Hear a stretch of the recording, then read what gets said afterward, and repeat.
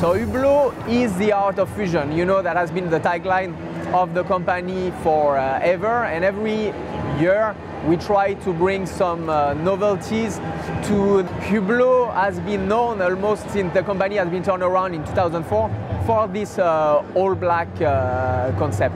And that all black concept goes very well with the design uh, of our piece. And in almost every line that we introduced, being the Big Bang, the Classic Fusion, the King Power, the Spirit, we had some all black uh, models.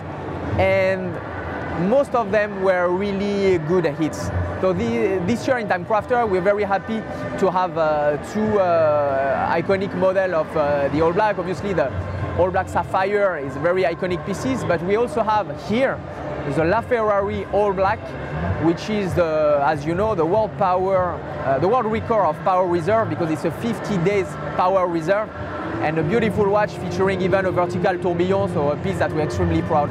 Uh, Ferrari car racing in general, but Ferrari more especially is really the second pillar to help grow uh, the brand.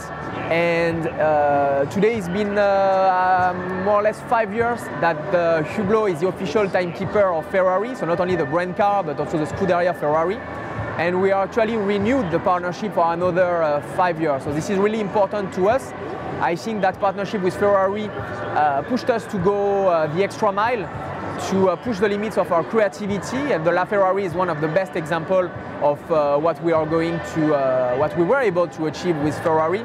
So it's an important part of our sales and also of our technical achievements. So strong pillar.